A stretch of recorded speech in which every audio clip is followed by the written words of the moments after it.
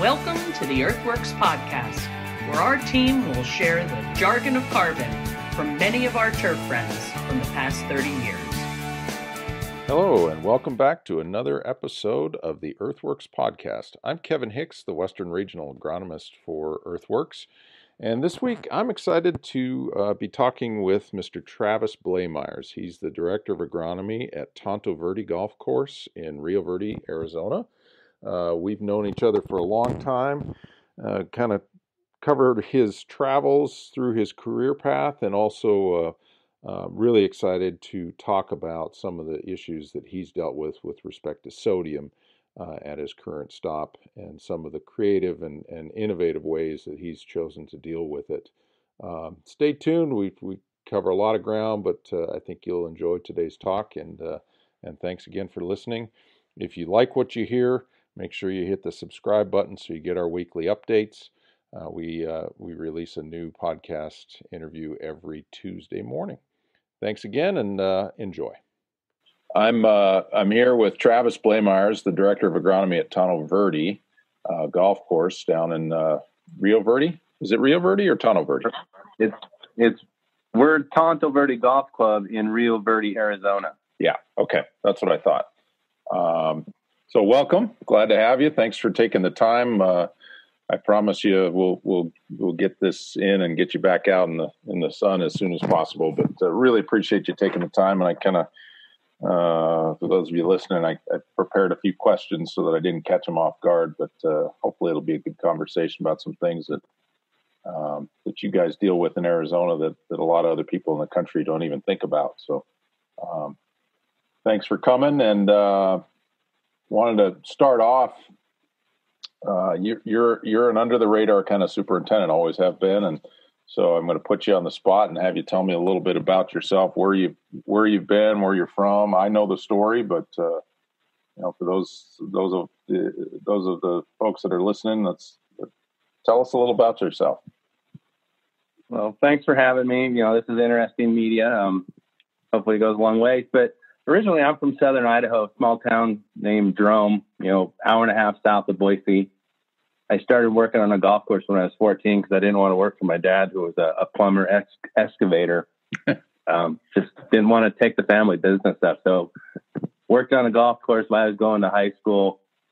It was going to be a, a, a wildlife biology when I got out of high school. So, you know, continuing to work on the golf course, I moved up to Boise to go to Boise State to continue my biology degree. Um, I worked at Hillcrest Country Club, one for Clint Travis for a few years, and then for Kevin Hicks for the, the last couple years. Um, you know, I still wanted to be a wildlife biology biologist, but both both Kevin and Clint said, you know, you should go to school for turf. Mike, there's a school for turf. I didn't think anything of it. Just, just a grass farmer, I guess. So, you know, time goes on and I get into Penn State from the help of both Kevin and Clint. Um, and it was an eye opener for for what I was used to. You know, working on the crew, I I pretty much was an irrigation tech, and I still enjoy doing irrigation to this day. You know, must come from my dad being a plumber, but you know, that's the main part of a golf course is the irrigation system, and you want that thing running as good as you can. That's right. So you know, working at Hillcrest, you know, that's pretty much all I did was, other than running equipment, is running the irrigation. And the first course I worked at, Jerome Country Club, just a small 18 hole course, you know, I did everything. There were eight of us on the crew to maintain the entire golf course. In the winter, we were mechanics. And when the superintendent wasn't there, we were mechanics, we were irrigation guys. I mean, we just did it all. And it just opens your eyes the amount of work that goes into a golf course, you know, to, to make it what people see on TV or, or wherever they see it. Yeah. And, but, uh, and no better way to get your feet wet than to just jump in and do it all, right? Yeah, I mean, you learn a lot by doing it yourself. And there's really, you know, with a small crew like that, nobody's really showing you what to do. You're just doing what you think's right. And fortunately, it worked out. But uh, you know, I met my wife and is from the same town I'm from, but I didn't know her in high school because she's older than me by two years. But uh, oh, you're going to with me. that one. You're going to pay for that. Oh, I know. still young though. Yeah. But she's been with me. You know, we've been together 27 years. Um, she she pretty much knows what I do. but uh, we've been this year will be 20 years being married, and she's traveled the country with me, going to different golf courses that I get transferred to. Um, I don't think I'd have it any other way. You know, I still like to be a biologist, but those jobs are hard to find anymore. Yeah. But being a superintendent, you're a biologist in itself, to man- managing living, breathing turf. So, so But, you, uh, your specific degree, your first degree is in ornithology, right? I took an ornithology class. I mean, that was kind of my passion, but my specific degree is a bachelor's of science in biology, and I was one class away from a minor, minor in chemistry. Got it. I know we used to, we used to tease you when you were at Hillcrest that you were going to be the the bird doctor or something, and and uh, yeah, I was just curious about that. Well, that's cool. So what? So Now, so you leave Hillcrest, you go to Penn State, uh, and and I know I I kind of maybe forced your hand a little bit as to where to go do an internship and get some some experience. So so talk about that a little bit. Yeah, when I was working for you at Hillcrest, you you had just started there, and I think that winter you took me and the the mechanic down to Arizona just to, you know, I guess you wanted to go back and see the place, and I guess introduce me to some people and a different way of thinking because in the Northwest, it's beautiful and it's nice, but it's not the desert Southwest. So it kind of opened my eyes, you know, what's out there because I was, you know, first starting out in the industry. You're mowing rough or something. You're thinking you know, how how can you go further? Do you see the Masters on TV, and like, yeah, I'd like to work there someday. Um, but coming down to the Southwest, when you brought us down here, like I said, it opened some eyes. So, you know, I I chose to do my internship in Arizona. I didn't want to go back to Idaho or go somewhere I'm just going to sit on a hose all all summer long. When I came to Arizona, I interned at Troon North, and at the time there were no superintendents on the staff. It was the director of agronomy and two assistants and myself. So I had free reign of the place, Yeah. which really helped me out, you know, with Troon Golf down the road. Yeah, for sure. So you did you did a one uh, a, a season internship there. Finish up at yeah, school. go back to finish up at school, and you know, I was offered jobs in Colorado and in California, and you know, they just didn't feel right, you know, because you're you're down in the winter, you're trying to find things to do, or California has its own issues, but I decided to go back to Troon North because you know it was offered to me. Uh, I knew the property. I knew that there was advancement in the company with Troon Golf because at the time they were small. So they were probably one of the smaller management companies at the time, and they wouldn't take on a property unless they had the people to move. So I went back to, to Troon North, worked for Ed Shimkus for I think two years, yeah. and then he decided to move on, and and Scott Nair comes in, which you know Ed's Ed's a guy that can grow grass, and Scott's a guy that can run numbers. So to, to see the the two of those guys and how they run their operation differently, you know, kind of helped me going down the road. And you know, Scott promoted me to to lead a to lead superintendent over both golf courses at Troon North. Why I was waiting for a, a job to open up for me, and it came a year later. I I got transferred down to San Diego, which you know the property was great, but it's just too big of a city to live in when you're from a small town in Idaho. Yeah, for sure. So that was early 2000s, right? That was I got transferred to San Diego in 2004. Okay. Yeah. and I was only there 18 months because Scott at Troon North decided to move on, and he recommended me for running Troon North. And if anybody knows Troon North, it's it's a beautiful property, but there's a lot of moving parts to that, being Yeah. that you know the corporate office is right down the road. But That's it, right. I mean, I was there for eight years, and there was a lot that went on there. Yeah, you truly have Big Brother staring right right over your shoulder all the time. But what a great opportunity for for a guy who's just a couple of years out of school. So it speaks volumes for what Yeah, you're capable of doing. yeah, I mean, it was fun. And then, you know, time goes by and we have a kid and we thought it'd be fun to move back home as in Idaho, you know, so I, I talked to Jeff Spangler and said, you know, if you have anything that comes open in Idaho, I'd be interested. He says, well, we do in Sun Valley. I'm like, sign me up because Sun Valley is an hour away from where I grew up. Right. But Right. lo and behold, it's, it's not always good to go back home when you've been away for so long because, you know, everybody's in your business. Yeah. But, yeah. You, but Elkhorn was a great property. and you were there for just a few years, right? I was there for, I believe, four and a half years. Um, And that was right during the downturn, right? Yeah, right during the downturn, and you know, you you couldn't sell a house if you were giving it away. So you know, we we struggled, but we made it through. Um, it's it's weird going from you know your desert Southwest back to Idaho, and the sun never sets in the summer, pretty much. So I mean, people are golfing at eleven o'clock at night, and you're wondering why the golf course is getting tore up. They're out there all day. but then the winters are different. Yeah. But I, you know, I, I got the itch. You know, I, I couldn't stand not doing anything in the winter. I'm a I'm a guy that doesn't really sit in an office. I sit on a mower or something to to keep busy. So I had to I had to move on. So we moved back down to California to Palm Springs to the club at Morningside, which it was a great property. It was Jack Nicklaus's first signature course he did in the desert. Um, just 100, I think it was 170 acres of wall to wall turf, common Bermuda, bent grass greens in the desert. Well, I think we were one of eight courses with bent grass at the time. But and, the kicker was is we planted what did we plant like eighty thousand flats of the annual flowers every year. Yeah, and that amazing annual plantings.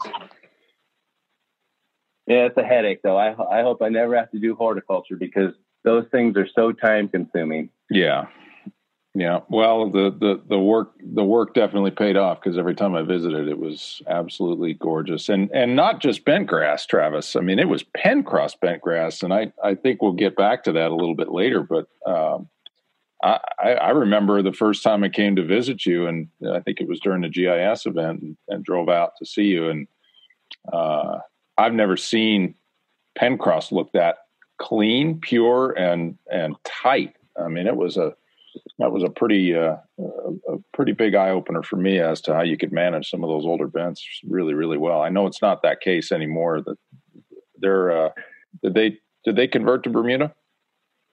they converted to Tip Dwarf the year after I left. You know, I I set the groundwork for them to convert, and they yeah. finally did it. Um, but you know, having grass at that not only that elevation but that climate, you know, in the summer, it was definitely a headache when you put out 70 fans. And if you step outside in the morning and it, and it smells like the Salton Sea, you know you're going to have issues that day. yeah. But, you know, the, the members knew, you know, going into it, what they got themselves into and come over seating when the golf course was still being grown in. The greens were always rolling at 11. So that's all they cared about. Yeah. Yeah. Well, good membership too, from what I remember. treated, treated yeah, older well. membership, a really good membership. Yeah. Yeah, and there was a connection to Hillcrest there. I think was how you got in, and how one of the previous superintendents, Eric Poles, had gotten in, and uh, so that's that's neat. It's a small business for sure. It is a small business. Yeah. So what? Uh, tell me about passions outside of work. What do you What are you into? What do you do besides uh, chasing your kids all over the place? And we like to go. We go camping. I mean, camping's not the same in Arizona as in Idaho, but it's good to get out of out of Phoenix every once in a while. Go up north to Flagstaff or Payson. Um, we're trying to venture into Colorado one of these days, but you know, my kids, uh, my son's 11, my daughter will be 15 this year. She's itching to start driving, but we're not itching to get her a car. but uh, you know, besides work and chasing kids all over the place, you know, my, me and my son ride dirt bikes, and the family we ride uh, mountain bikes. And we just try to to be outside as much as we can. Yeah. even though it's hot, you get used to it. Yeah, it's uh, it's it. Well, it's like anywhere. It's it's a great climate for about nine or ten months out of the year, and then you just got to gut it out for the two months. It's just not winter; it's summer, right? Exactly. Yeah. Well, that's cool. So you said yeah, earlier we, we have. We, go ahead. Excuse me. Yeah, we have we have winter, a little bit of spring, and then all summer. We don't really yeah. have a fall or anything, but it it you get used to it. Yeah, it's uh, and and fall unfortunately occurs right after you've dropped all your all your ryegrass overseed, and and it happens in about two days, doesn't it? That's correct. so you said you just started listening to podcasts. Are you a reader, or do you do you just keep your head down and and do stuff with the family? I'm not so much of a reader. You know, we we're on you know mobile devices or electronics quite a bit, but you know I I haven't really listened to the podcast, but uh, I listened, started listening a couple weeks ago from from the Jingweeds. It's my neighbor and another guy down the street. You know, they're just they talk about golf course stuff, but they also talk about sports and you know whatever comes in their mind, and it it just kind of opens you up. It's, you know, not always listening to the radio or, or music Yeah. or anything, just something else to listen to. Yeah, they're doing a nice job Kind of like Twitter is.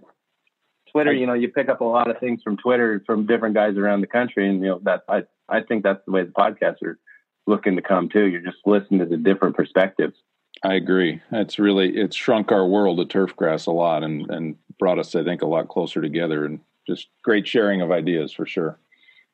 Yeah, Yeah, I've got a couple of suggestions that you'll really enjoy, but we'll we'll do that off air, I guess. Um, all right. okay, so let's let's talk about Tonto Verde. So you get you, you arrive at Tonto Verde. Uh, what? How many years ago? Five years ago, Okay, jeez, unbelievable. So it is. It goes fast. Yeah. So you know, I, I again, I know a little bit of the backstory on the on the property, um, but this is really kind of the meat of what I wanted to talk about today, and and and get into some of the things because you know you, you get you get into the East Coast and the Midwest where the rainfall is fairly plentiful and it comes at in in timely intervals, and um, you know we don't necessarily. I know there's there's guys I've talked to uh, who you know they've they've used. Uh, almost 20 million gallons of water in a year. And, you know, you think about that conversely to, to what you guys do in Arizona. Uh, you know, you literally are living and dying by water, um, by irrigation. And, and, uh, so you, you step foot on the property. There were some challenges to begin with. Um, and, and you really took from, from the get go, you took a different tack. And uh, so, so talk about that with, with respect to salts and some of the conditions that you, that you walked into and, and, you know, how, not necessarily how, how they got there, but how you were looking at things differently and, and wanted to try to remedy things long term. Yeah, I mean, if anybody's familiar with the, I guess it's the North Scottsdale corridor.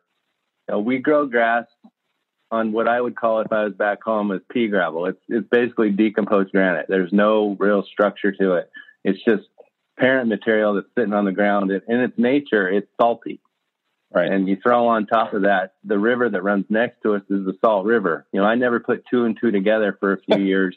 You know, why is our water so bad? And one guy at the water district says, well, it is the Salt River. So you, you kind of put two and two together. But I knew coming into this job that they had issues because Troon North is 10 miles up the road and we had the same issues up there. Granted, they were a little worse up there at the time, I believe, but you know, I knew what I was getting myself into. I get on property in February and, you know, you're, you're driving around and you're, you're seeing what's going on and, you know, you know what's going on because you've dealt with it before. But, you know, the first thing any person should do, and the first thing I did was pull soil samples and they come back and you're just you're sitting there like, all right, so what are we going to do? And the first thing you notice is the pH was five to four and a half. I'm like, well, that's not going to work going forward. You know, the ryegrass loves low pH, Bermuda grass, you know, not at all. So Right. you know, we we didn't fertilize the entire first year I was here because we didn't need to. There was enough nitrogen in the soil to keep things moving. And I knew that summer was going to be just horrendous for transition. And sure enough, I mean, we were bare dirt pretty much 75% of the property. Um, you know, our water source is a mixture of non potable water, which comes from uh, a couple wells above the river. And then for the winter, when we, when we have members here, we're supplied with effluent. There's times during the year that I would rather take the effluent than the non potable water. And we test it pretty regularly, and it's got no less than 1,300 TDS, mainly sodium, that we're putting out on the golf course nightly. Right. I can't remember the pound per acre we're doing, but you know, you can't fix that because there's three users on the system, and they're not going to put in an RO plant for us. Sure. So we're on our own. Um, they said they don't have to supply water to us, but they do because you know we do things with it and the effluent as well. So that's I mean that's the challenge we're faced with is you know the main input we put on the golf course is horrible. But uh, that's and you, and you do it a lot, right? Yeah. We don't water as much as people think we do. Yeah, we do put a lot of water out, but you know, the 36 holes that we have here, I think one course is smaller than another, but we probably average 350,000 gallons a night uh, right now because our, our uh, ETs are really high. Our uh, uh, humidity is really low. But once we start getting into the monsoon season in July, we might use 200 to 250 a night. Our biggest time of using water is the most important is when we're dropping seed. We're probably yep. putting out a million gallons a day. Right. And, right. You know, so just think so about dumping a salt shaker. Yeah. So when, so back up for a minute. When you when you say because again, I think this is something a lot of people don't understand if they haven't been through it. But when you say ETs are high, uh, explain that. What what's what's your number? We, you know, right like what's now, a what's a day where you know you're gonna you're gonna really have to have to make up some ground? I think our average ETs right now are 0.3 to 0.33. Right. So we might do 70 to 80% of ET. We can't go out at 100% ET because one, it's going to, you know, sink the boat as far as money. But two, our soils don't take the water. Right. There's nowhere for it to go because they're so locked up with salt. Yeah. So, you know, we, we probably two, five, two, six. If we know it's going to be windy and the course is closed, we'll probably go to a two nine, but we never go above 0.3 because we know what it's going to do the next day. Exactly. And You're not going to have a playable the surface. Course is, yeah, the course is closed from May 15th through November 1st. We're one golf course. The, the membership has allowed the summer for maintenance activity. So we close one golf course for a month and then we rotate that through the summer. So we, we have the time we need to get the job done because the membership understands that things have to be done to make the golf course good for the fall. Yeah, because that's where you're making your money, right? That's when your members are there. That's when that's when the ryegrass is down. It's you know I always called it our cash crop. The the, the perennial ryegrass that goes down in the wintertime is is truly your cash crop, right? Correct. And you know this year's different. You know everybody knows COVID's going on, so people are sticking around more. Right. We're we're averaging 350 to 450 rounds a day when we had two golf courses. Well, now we're combining all those golfers onto one golf course and they're trying to figure out why, you know, why we can't drive on the cart path every other day. Yeah. Because, you know, we're trying to protect the Bermuda grass because Bermuda is where the ryegrass lives. And they're all split up in four carts too, aren't they? Yeah, four or five carts per group, and they can't figure out where all the traffic's coming from because yeah. there's less people in town that everybody has to have their own cart now. Yeah, Pri- private clubs have had social distancing. And and what what was that? I don't see single riders going away anytime soon. No, I, I was just going to say that private clubs are uh, they've had the social distancing thing figured out for a long time, especially clubs where they own their own carts. so I yeah. think you're right. I think that's going to be something we're we're dealing with in the long term for sure. But to get back to the salt issue, uh, there's there's times if we don't get rain, you can drive the golf course and not so much on the turf side of the cart path, but the, the desert side of the cart path. You can go out there and harvest salt and put it on your steaks that night. It, right. it you know, it's, it's a dry, humid climate. So anything that the water that sits evaporates and then you get the salt left behind. And, you know, I've got pictures of just white powder on the sides of the cart path that, you know, and we grow grass on it. Right. So it, it's, it's an issue that's not going to go away, but I think we may be on the right path to we're not going to ever fix it, but we're managing it, um, and not with chemicals as was suggested in years past. So, so explain that. Let's let's get into that because I think this is really the the crux of the conversation and and how you've approached things differently. And you know, you weighed dollars and cents, you weighed uh, interruption to the to the members, and, and and started on a program a couple of years ago that, you know, in my estimation, seeing the golf course is really has really benefited and will in the long term. What what have you done? Well, as I said when I got on property, the pH is four and a half to five. Well, you know that's from excess ammonium sulfate and sulfur. You know, right. There's really no textbook on how to manage salts in the desert Southwest. There's really no professors dealing with it. Every class I've taken in the past, you know, you need the water and throw gypsum, throw water and more gypsum well, you can only throw so much gypsum and we don't get any water because it's all salty water. Right. So, you know, the message I get from those professors is good luck. So that tells me that, you know, there's no help out there. We've got to do it all ourselves. Yeah. So, you know, as I said, we didn't fertilize the first year. I still maintain the gypsum applications as recommended by soil test, but we knew it wasn't doing anything because we already had 70% base saturation calcium on our soil test. But the sodium is 21% on average. So you know, we can't get rid of that sodium with the water source. So I was leaning on my Brookside guy. He, Fred Astrom, you know, he comes over here twice a year, pulls samples.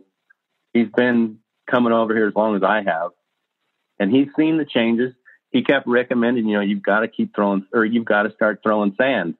I'm like, yeah, you know, we're we're doing an eighth of an inch a year. Is that not good enough? He says, no, you need to go, you need to step it up. So, you know, I was committed to the eighth inch. Um, I was on a golf on one of the golf courses over the summer. I think my first year here, and I was talking to a, a member who, in essence, was a math major. He, I said, "Yeah, we're we're going to stay committed to an eighth of an inch a year." And he goes, "Well, wh- where do you want to end up?" I said, "We like six to eight inches." So he goes, "Well, that's going to take you sixty-four years." I'm like, and, and I'll, and I'll be golf, dead before then. I'll be dead. You'll be dead. You won't see your investment. And the average age of the golfer here at, at Tonto Verde is 72. So right these this these members they want to see their investments sooner than later. So, you know, I I kind of took to heart what Fred had been telling me. So I think the first thing we did is I I got a hold of a, a dealer here that sells shockwaves, and I said, you know, we'd we'd like to demo one of your units. So he brings out a brand new shockwave. Uh, if anybody knows what that is, it's a linear decompactor that goes behind a tractor. Uh, it it really creates a mess, but in, in the long term, it's good. So he comes out with a brand new unit, and I was telling him, you know, you're going to go to the worst hole on the property. It's hard as a rock. Um, good luck. He goes, oh, this machine will get right through it. he goes out there, comes back four hours later, and he goes, man, you've got some bad soils. I even got some wear on my machine. I said, what did I tell you? So, you know, we really didn't see anything that year from, you know, going in there one direction. But come the next spring, you know, that hole was a little bit better. So, you know, talking with Fred, he goes, you need to start injecting sand. So I hemmed and hawed and thought about it. And I finally went to the greens committee and said, look, we can either do the shockwave and, and top dress on top of it, or we can go get a black. You know, a black is the same machine, except they're injecting sand. Right. So got a hold of a, a vendor here in town that has a black he came out. We did number six again, four directions. Uh, I think we put an inch of sand out over those four directions, and it looked like Swiss cheese. I mean, I didn't think anything was going to come back, and lo and behold, we decided we we timed it just right during monsoon. If anybody's familiar with monsoon in the, the desert, we get high humidities, and the temperature goes down a little bit, but that's what the Bermuda thrives on is humidity and we did the black during that, and it was healed within a week. I mean, you could still see the lines, but the, the grass was growing, it was healthy, and you know, the year prior, if it was to rain on that hole, well, it rains on the whole property, but that hole in particular, we couldn't drive a car on it for a week. Well, we got a rainstorm that summer, and I was just out checking things, and you know, we could have drove a car on it right away because even though we're only getting four to six inches depth on the the black, you know, we're putting that much sand in, it's wicking the water away from the surface and it's following those channels to lower areas into drains. So we knew something was on the right path. And that hole itself for overseed was probably, it went from worst to first. And the next summer, they had already decided to do the entire golf course, uh, the ranch course, because it was the worst of the two. Um, so we're we're on a, a pretty consistent top dressing program on fairways during the summer. Uh, last summer we put out 4,500 tons of sand. This summer we're going to do the same. We're going to black the second golf course in four directions in July. Um, and I've, I've told the greens committee and the board, and they're all on board. You know, as long as I'm here and as long as we're seeing positive movement, we're going to continue to throw sand um, for the future at a half an inch.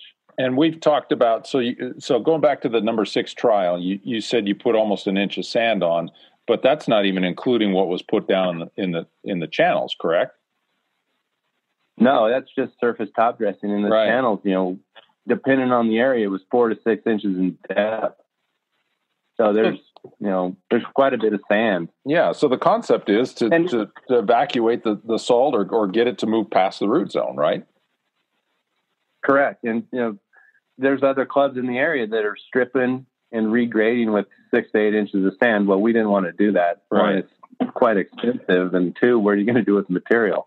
So right. we're doing it a different way, just over a longer period of time. Yeah, and and I know you told me that that you know prior to this uh, to this program starting, you know you get you'd get good germination on your ryegrass in the fall, and and then it would turn black and curl up and die because it was you know it was taking up the salt indiscriminately between the salt and the and the potassium, and and it would just you know sodium induced wilt would take over and you'd essentially lose your crop. And and I remember you saying that after that first year that the the the catch on ryegrass was way way better. So I guess the proof is in the pudding. Yeah, I mean, we overseed for a reason. We don't do the 1,200 pounds of the acre anymore, you know, like in years past. But we're 800, 900 pounds of the acre. We overseed because we know we're going to have some deaths in the salt. But this last year, the golf course that we blacked, we only went out at 700 pounds, and it was so good. Granted, we had some rain this year, yeah. But the, the overseed itself was so good, you know, we didn't lose much because the water had somewhere to go. So, um, when you look at the cost of ryegrass, the cost of gypsum and other other soil amendments versus the cost of the sand, I mean, in the long term, you're probably going to. Do you think you'll be a wash or or a little ahead of the game? I think we're going to be ahead because you know the, the initial thought was the shockwave and throw sand over a period of years. You know, I think that was going to cost over a million dollars. Where we decided to go with black and put all the sand, most of the sand down all at once, we're going to save.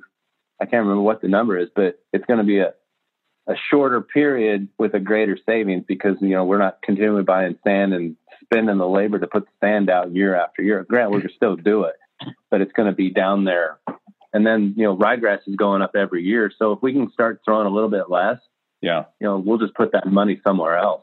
Are you are you noticing uh, your water consumption going up or staying about the same or, or down a little bit? We're actually going down a little bit. Interesting. Um, we don't ever go off of what a book says, but you know, Toro sends you a sprinkler head with a set nozzle, and you should be using this nozzle. Well, some people do, and some people want to see if they can make it better. So we decided, you know, let's try some different nozzles, and by doing that, um, we're more efficient and we're saving water. Got it. Because the, the more water we put out is also the more salt we put out. Yeah, yeah, exactly. And it's like you said. I mean, I've I've looked at your soil tests. We've done some with you, and and uh, uh, you know, n- nobody in Arizona or, or any of the desert Southwest really worries about greens because you can actually flush those. Whereas, you know, like you said, that the native soil, the parent material doesn't doesn't afford you that opportunity. So you've got to do it some other way. Yeah, it's it's a good four inches of DG is a mixture of, of rock and clay. Right. So that it gets pretty locked up four inches down. Once you get below that four inch level, it's pretty good stuff but that's the the issue is getting below that four inches. I've had to do soil samples before with a post hole driver. Yeah, that's how hard these soils can get. I know. I can I can remember that for sure. So um, let's let's tack a little bit here and and get a little lighter because that's pretty heady stuff. I want to get back into overseeding here in a minute, but um, uh, I've seen your cart, and you're you know you're you you're proudly a a working superintendent, like you said. You like working on irrigation. What's a what's the one tool in your cart you can't do without? Probably my irrigation tools. I mean, I'm out there every day seeing why is this area wet or why is this area dry or how can we make this better. So I have a, a bin box full of nozzles and a little tool bag full of, of tools that I just go out and start messing around with sprinkler heads and just see if I can do something better. Right. Cool.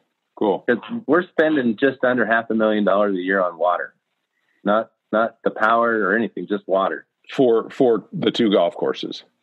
For two golf courses, and we I think we use you know on average we're under 400 acre feet a year. Okay, which is a lot of water, but yeah, and that's uh, that's probably less than Scottsdale, isn't it? Their water yeah. prices have gone up some. Yeah, they're uh, the the 13 users on the, the line are RO water now, so yeah. they, they're paying for it but they're not putting out the amendments because they don't need to. That's right. That's right. Well, it's it's interesting that that you know that's another thing I think a lot of places in the country don't really realize is, you know, you look at the price of golf in Arizona and you if you're if you're not used to it, you think about that, but you know before you've even uh, started up a mower uh, the first of the year, you've already incurred a half a million dollars worth of worth of cost that nobody else has, and and electricity. I can remember electricity is not cheap either, so that just adds to it. Anything you can save there, Yeah, money in your pocket, right? exactly. Yeah, interesting. Um, so let's get back to overseeding for a minute, and and uh, I, I want to.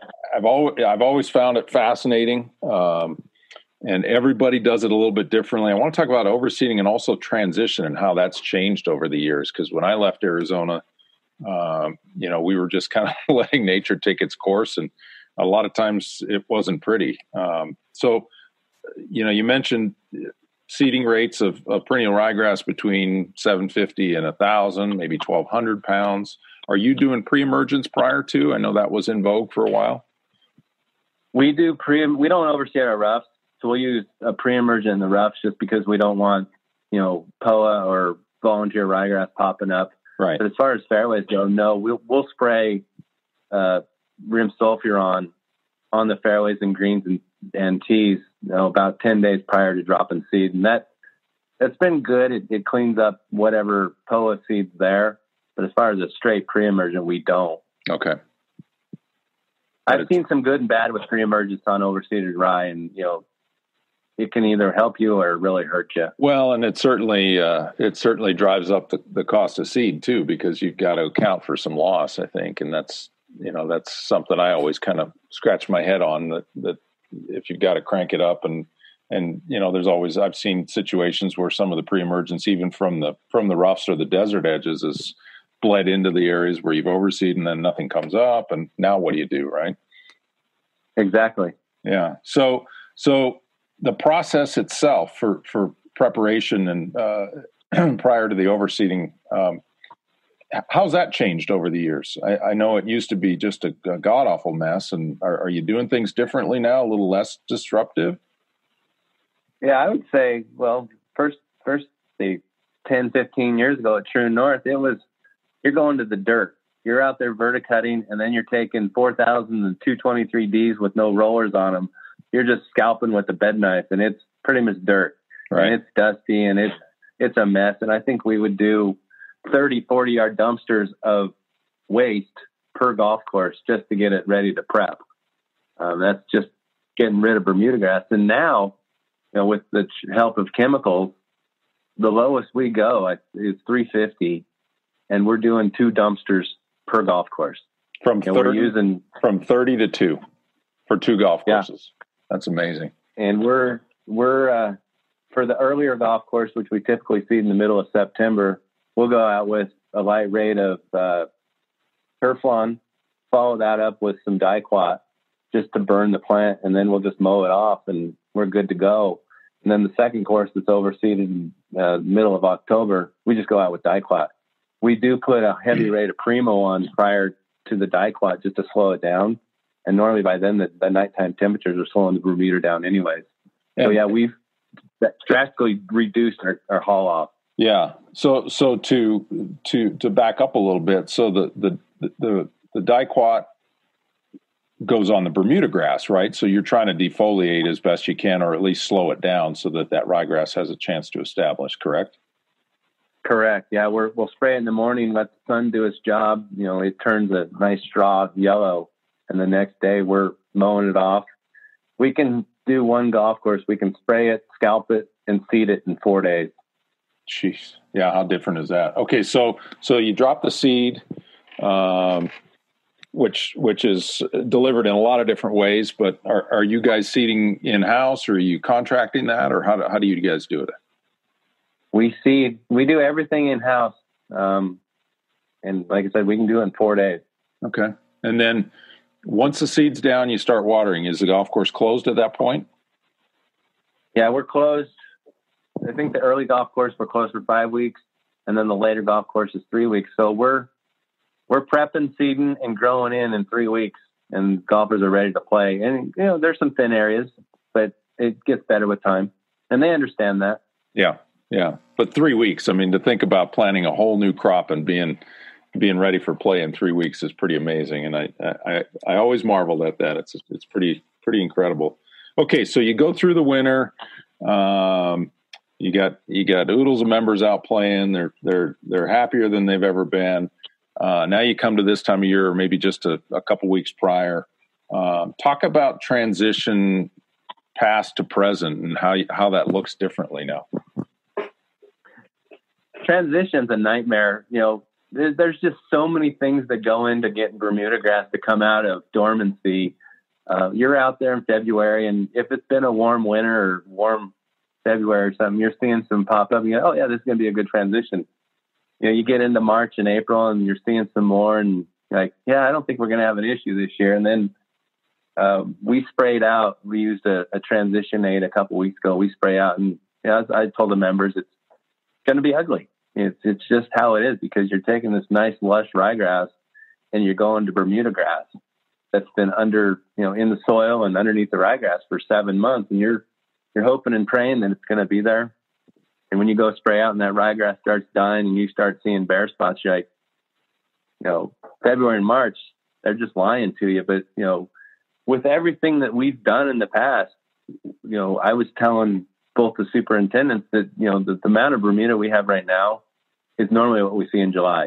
You know, we've, we're doing something right.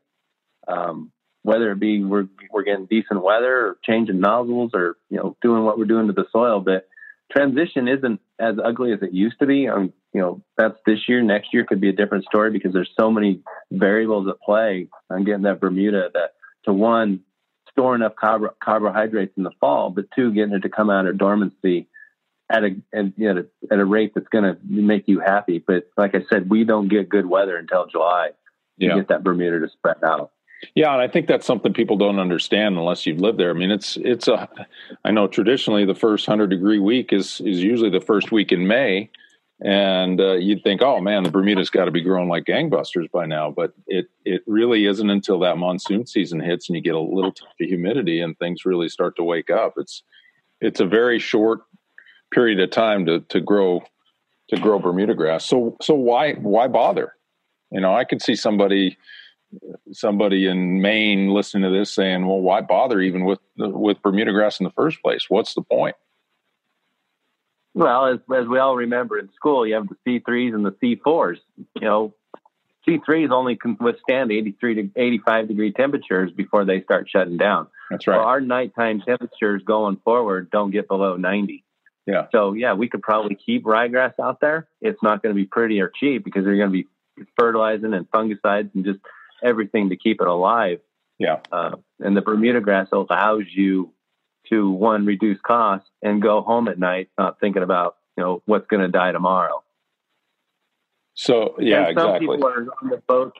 It, Bermuda grass handles sodium a lot better than ryegrass. So you know if we can manage that Bermuda in the summer and have a good stand, like I said, that's where the ryegrass lives in the winter. It, yeah. It's hard to see ryegrass on bare dirt. Well, and that and that was one of the points I, I, wanted you to make was was the fact that it's it's really a nurse plant and and and it has to be there or that seed has nowhere to tack down and and and reside before it germinates. And that's yeah, where a lot of the problems it. came from in the past was that you know you'd have that bare dirt area and you can't seed into it because it just runs all over the place. Yep. Interesting. So yeah, we basically do two grow ins a year. You know, we have the fall right. grow in and then we have spring grow in, and you know neither one of them are easy. So, if the club told you no no transition aids, uh, would it be a lot harder to do what you're doing? As I tell them, it wouldn't be harder. It's just going to be uglier for a longer period of time and, and, and longer. Know, yeah, yeah. And I told them we need 90 to 100 days of good Bermuda weather to have a good overseed. You know, if you if you relate everything to overseed, it kind of perks their interest more than if you're just saying we want good Bermuda in the summer because most of them aren't here in the summer. Right. They all go back home to the Midwest. So if, if we say it's going to make our overseed much better, then they kind of listen a little bit more. No better interest than self interest, right? Correct. Yeah. So, so if, if we didn't use transition aids, we'll just go out there and aerify and yeah. take it out with the heat and the, the wear and tear. More interruption and more more pain in the process for sure. Yep. Yeah. So I know you're active on on on social media, especially Twitter. Um, and I saw I saw you post something the other day that you you really felt pretty good about your Bermuda gray, uh, Bermuda grass base coming back. And um, so my question is, did you invent the hashtag Pound Sand? No, it was a Greens Committee member. I can't remember what we were talking about. He, in, in passing, he said, "Just go out there and pound the sand." I mean, all right, I'll just run with it. So, so you didn't invent it, but you're definitely you're definitely taking credit for it, uh, kind of being being in the mainstream now. Yeah, he's not on the Greens Committee anymore, so I'll take it.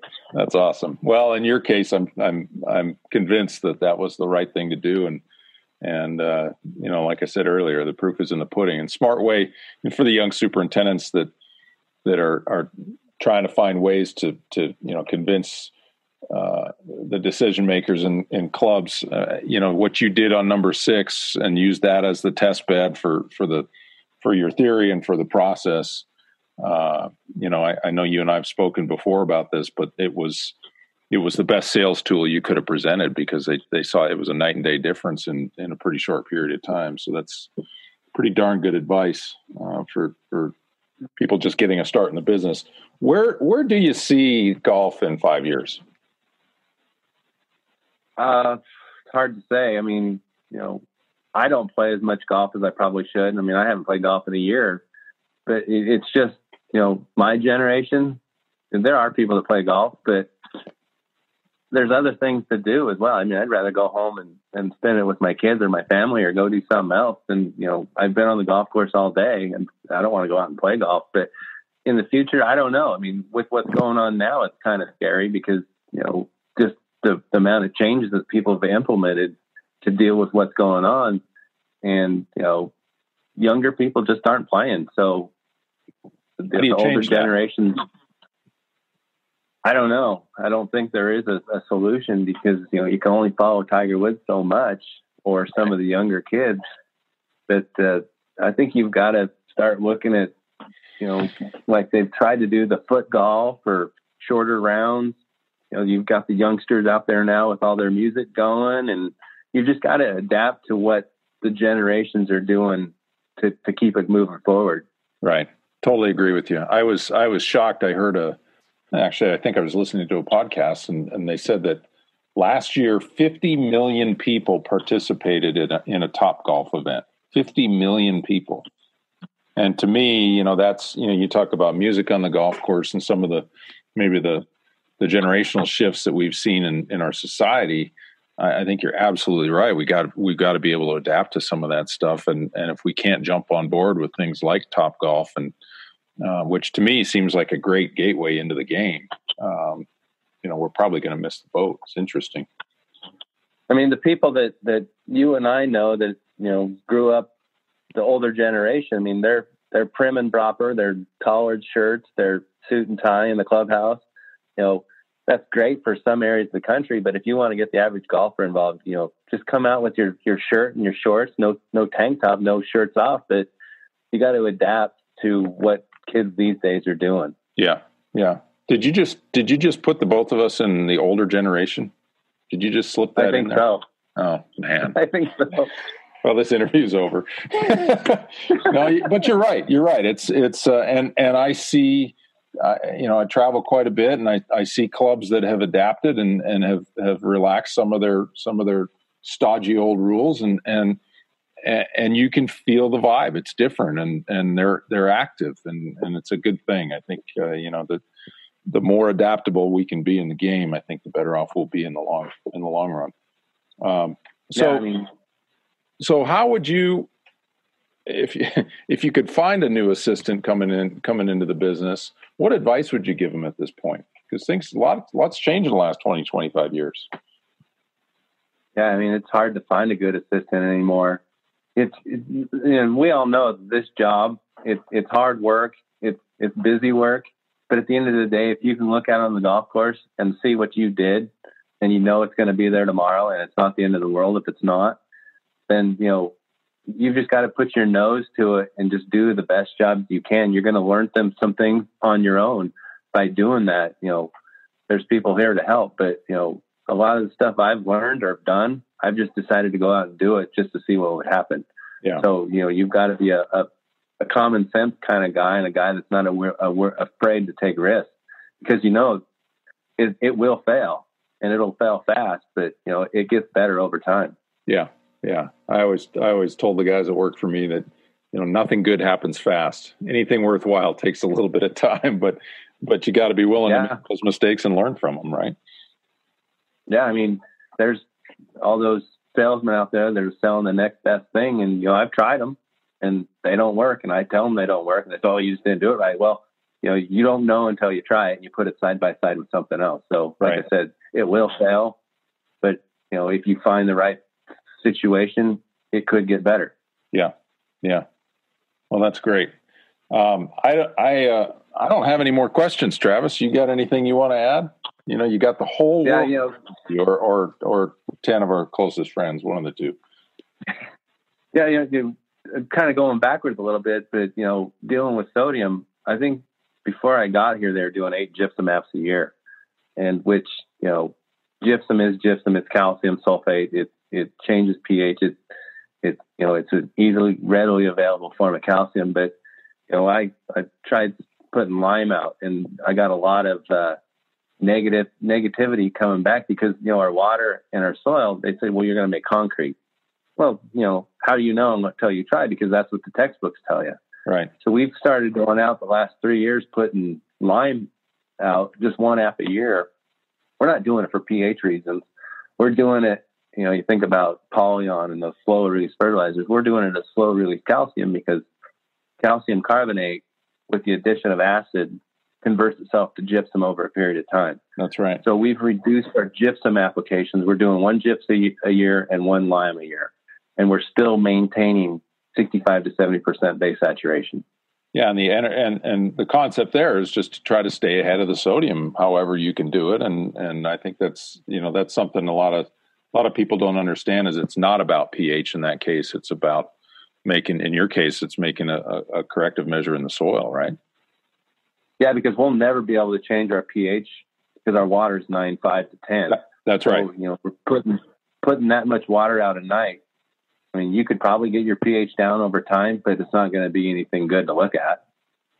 Well, it looks like I'm looking at one of your tests from a couple of years ago, and it looks like you know you've you've rebounded to the mid sevens. So you know, again, just like your water, there's a there's a sweet spot that that soil basically naturally wants to get to, and and that's probably about where it is. So um, yeah, and we only pH inject just, acid. Okay we we inject sulfuric acid sparingly. We a couple times a year just to to kind of get it out there because we don't want ex with non-draining soils. We're just adding up the sulfate. So right. know, we've got some areas out there that don't drain and they stink. Um, but uh, just keep. I think our our thing going forward is just keep disrupting the soil and adding sand to a, a soil that doesn't drain and just keep moving things around. Yep, exactly. Well, like we've said, the proof is in the pudding. I've been to your property several times and and uh, have had an opportunity to see it kind of midstream and and not the end result, but but certainly uh, certainly some improvements. So keep on uh, keep on the path. You're doing a great job. Um, uh, our guest today has been Travis Blamires. Uh, Travis, thanks so much for the time. Appreciate it. Uh, I understand. Thank you. Weather's been a little bit cooler the last few days, so that's good. I know you're going to get hot again, but with heat comes good transitions. So thanks so much for your time, Travis. Thank you. And it's been uh, a pleasure. Yeah, and and one of these days I'll get back down and see you when I'm allowed to travel again. Arizona is the place to be. The heat kills it. That's true. That's true.